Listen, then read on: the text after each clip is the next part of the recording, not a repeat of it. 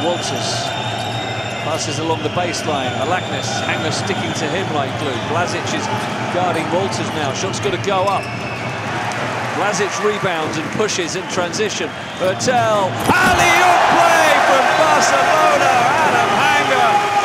What a transition basket from the home team.